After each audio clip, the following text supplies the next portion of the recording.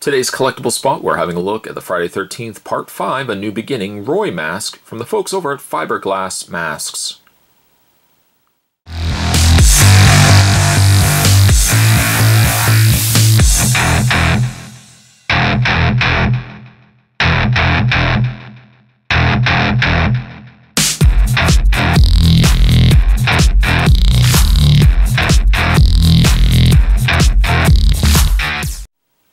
This beautiful, and I might add also screen accurate mask comes to us from www.fiberglassmasks.com. I'm going to provide the link down below if you guys want to head over to their website and check out the incredible pieces that they have produced. Um, I'm probably going to be going back and picking up probably more than what you the one mask here. I'm probably going to be going back and picking up several masks because the one thing I really like about their website is that they're giving you screen accurate, screen accurate masks um, from basically every movie property of Jason Voorhees. So we'll have Jason Voorhees from part three, all the way really to the reboot Jason. But the thing I really like also about their website is that I got the Roy mask because I've always really wanted to get a Roy mask. It's so very different from the other hockey masks that we've gotten from the franchise. Um, you know, really, with the markings themselves on the masks, it's something that we only saw in in part five, and of course, fittingly enough, the non-Jason uh, movie. Uh, it was just such a great mask that I wanted to pick up. Now, I went over to Fiberglass Masks because I wanted to get a high-end mask, and one thing I like about their site is that they feature variations of each of the masks. So for example, part four, they'll have a non-bloodied version of the part four mask, but then they'll also have the part four with the blood down the side. They'll have the part eight mask, but then they'll have the part eight mask with like the, the slime and, and the wetness to it. Um, and also too with the, the part five mask, I think there were two variations to that mask available as well. Uh, I ultimately just went with the what I perceive to be the more screen Run movie uh, mask, but they did also have, I think, like a more of a weathered mask there also. Um, it's made of a very high durable fiberglass, and on the inside, actually, they have a little markings indicating fiberglassmasks.com. Now, also because if you are a fan of the, the Friday 13th movies, you know also that uh, unlike the strapped masks, Part 5 actually had more of an elastic mask, which they've also uh, replicated here in their mask too. The level of detail, level of paint is quite remarkable on these pieces.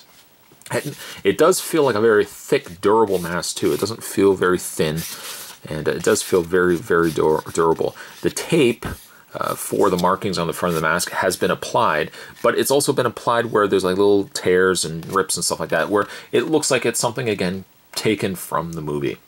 Also, it's not one singular color for the mask either.